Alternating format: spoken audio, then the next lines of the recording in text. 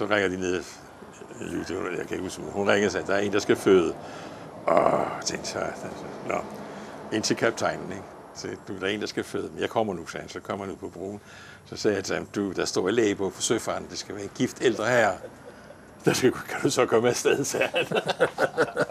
kan du så komme afsted? Man satte aktiernes pålydende til 100 riksdaler. Men de var svære at sælge, for det er ikke nemt at få Bornholmerne til lommerne. Så der måtte en energisk agitation til for at skaffe de fornødne penge.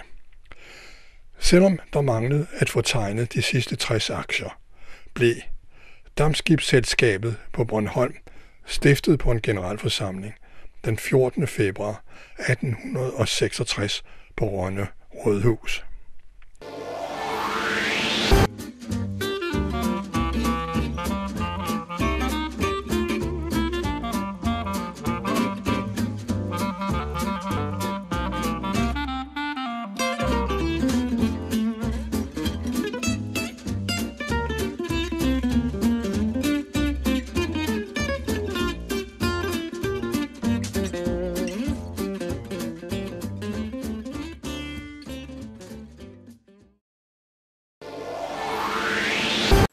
Og Bornholmerpilen var nok et af de værste skive at sejle med.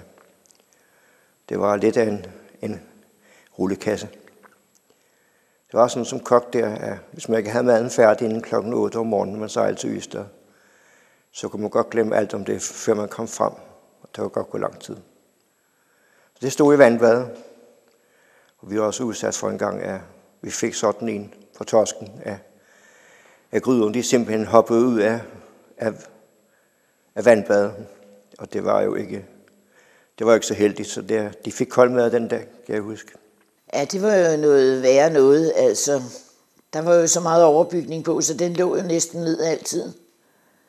Jeg har engang været med i et dårligt vejr i, og det tog syv timer at komme fra Rønne til Ystad. Og vi kunne se lyset inde i Ystad, men øh, vi kom ikke nærmere. Den lå der bare og vippede rundt. Ganske forfærdeligt. I begyndelsen, da de satte nye skibe ind efter århundredeskiftet, der var det jo dammskibe, der sejlede. De var alle sammen sorte med lige stævn og havde det, man kalder en elliptisk hæk. Det er agterenden. Og skibene, de lignede meget hinanden. Men i 1923, der kom så det første motorskib. Og det blev døbt frem, fordi det var, nu var der fremtid i det. Det lignede godt nok de andre gamle dampske. Der var ikke meget forskel. Men det var dieselmaskineri, den havde.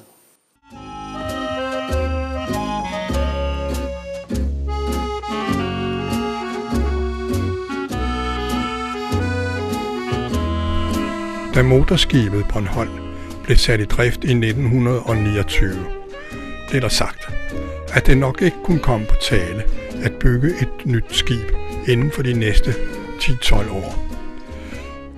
Men virkeligheden blev en anden.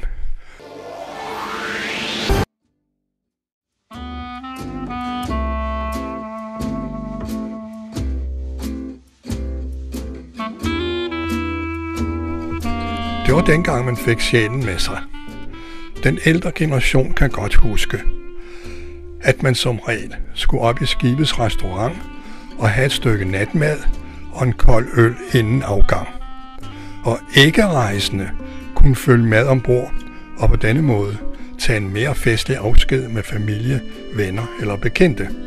Man skulle bare lige huske at komme fra bord, inden landgangen blev taget, og skibet skulle sejle. På kongedybet respektive Hammershus og Rødner, de gamle der, der var jo ingen bagpropel i, og der var kun en enkelt skrue der. Så det betød, at når man skulle ind i havn her, så skulle man have fat i en trosse, og så skulle man sveje skibet rundt der. Og der var to, kun, to koste der, du skulle være opmærksom på. Og når du kom dertil, så var det knald eller fald, det kan jeg love dig for. Og der skulle man altså der skal være passe der rigtig godt på. sømænd der. Der var sømænd. Skibene dengang, de havde en skrue, og de kom sgu næsten ind hver eneste gang, Ja. selvom det blæste. Ikke? Ja, Der var I færre aflysninger. To skruer og to borgpropeller, jeg ved ikke hvad. Alt muligt. Jeg var ombord i Hammershus som skipper dengang. Og der, skulle, der kommer vi fra Rønne og skulle gå op til København. Og der gik vi så igennem Falsterbro-kanalen. Og da vi kommer igennem kanalen, næsten igennem kanalen der, så friskede det op. Der kom meget mere luft. Så måtte jeg jo selvfølgelig give noget mere på skruerne. Og ved at jeg giver det mere på skruerne, så resulterede det, at jeg trak vandet væk fra de løsbåde, der lå for tøjet der. Ja. Og så sidder der jo ting og så Og de tristanitter, der havde været dernede, de kom ud i deres langbåd. Nu skal man huske på, at der er ingen havn på Tristan. Så vi kunne ikke komme ind. Vi lå ude på, udenfor og, og vippede frem og tilbage. De kom ud i deres langbåde og tog imod os, som skulle i land med de der øh, små redningsbåde, som vi havde med. Og det havde vi så sådan en, en pose, hvor først passagererne blev, blev øh, sænket ned i, og så skulle vi ellers have det andet fra bord.